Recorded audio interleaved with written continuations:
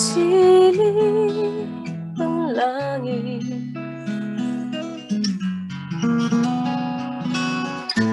Di mo man silip Ito'y nandirito pa rin Kung ang lahat ay may katapusan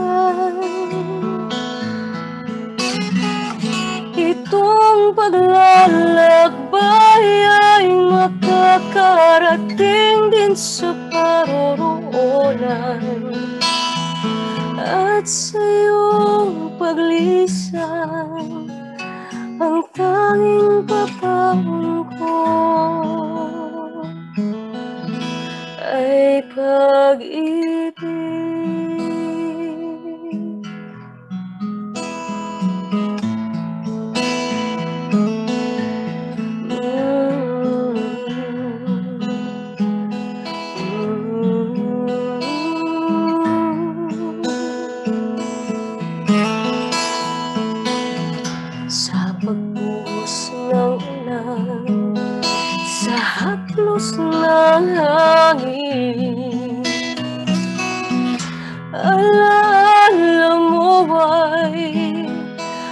nakaukit Sa pisngi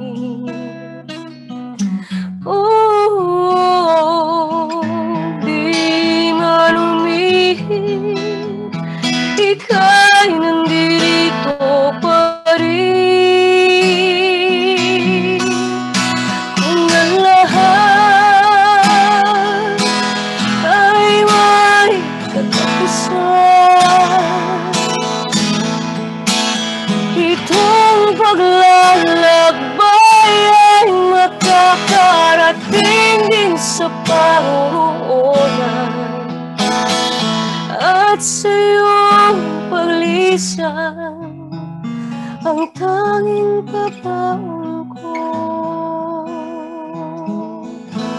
ay pag-ibig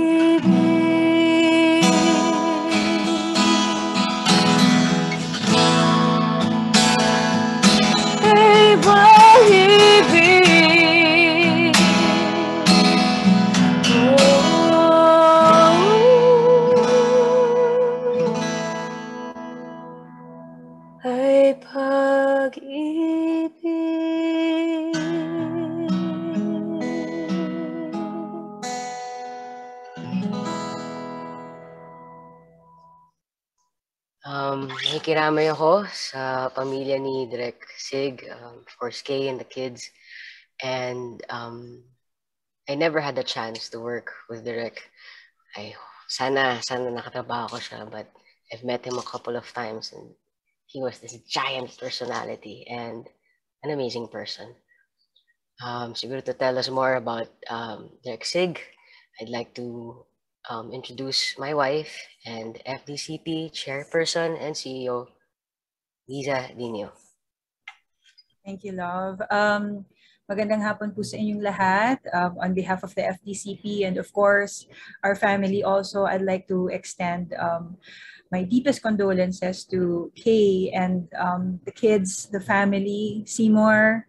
Um, actually, I know Sig from way back. Hindi pa po ako artistang uh, very active artist. Uh, wala pa ako sa FDCP, magkakilala na kami. Um, uh, yung isang short film na ginawa ko, yung Naknang with Tope Lee, um, back in, I think, early 2000. Um, he was part of the team na um, gumawa ng short film na yon and doon kami nagkakilala uh, he was doing prosthetics at that time and he was really taking care of me kasi parang monster yung itsura ko doon. And that's how I really remembered him, that he's this very rock star punk filmmaker na very progressive yung mga ideas niya. Um, uh, his dream for the industry and for our cinema to come up with films na talagang uh, magre-represent ng story ng mga hindi lang hindi, uh, storya ng ng ng mga Pilipino and he has a very unique take on that um, the FDCP has supported him actually um, even from way back. I, I even if uh, back in 2012 with um, uh, ang mga kidnapper ni Ronnie Lazaro, um, he won the grand prize there, and from there. Um, uh, nagtuloy-tuloy na rin yung partnership and collaboration namin with SIG from him being a mentor and um, us featuring his film Magtanggol in Sinelokal back in 2017. So talagang, you know, hindi natigil yung suporta niya and yung aspiration niya to just continue making films, you know, to add to this um, tapestry of what Philippine cinema is for us. And I'm sure that, you know, lahat ng mga pelikulang ginawa, ginawa niya has, uh, is, has immortalized, you know, his view and his stories and kung anong tingin niya na dapat nating maiambag sa Philippine um, cinema. So, um, uh, this is a big loss for the industry and but I know and I have I've been aware of how of the pain that he has gone through.